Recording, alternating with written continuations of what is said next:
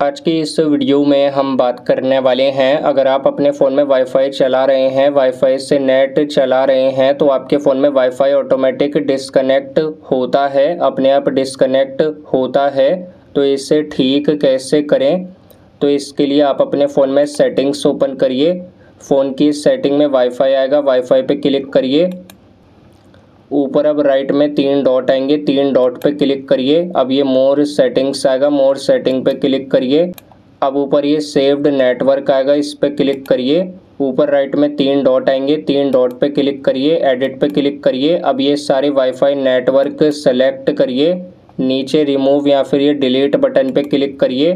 Remove button पे click करिए। सारे सेव्ड नेटवर्क डिलीट होने के बाद बैक आइए। अब सेटिंग में नीचे आइए। नीचे आएँगे तो ये एडिशनल सेटिंग्स आएगा। इस पर क्लिक करिए। अब नीचे आइए। बैकअप एंड रीसेट पे क्लिक करिए। रीसेट फ़ोन पे क्लिक करिए। रीसेट नेटवर्क सेटिंग्स आएगा। इस पर क्लिक करिए।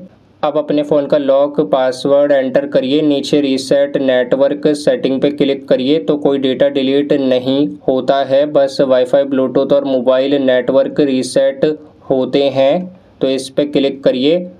ये सेटिंग हमने पहले से कर लिया है तो कैंसिल करेंगे बैक करेंगे और अब अपने फ़ोन को रीबूट करिए, बंद करके चालू करिए और अब चेक करिए आपके वन प्लस फ़ोन में वाईफाई ऑटोमेटिक डिस्कनेक्ट नहीं होता है। तो अगर ये वीडियो पसंद आई तो इस वीडियो को लाइक ज़रूर करें।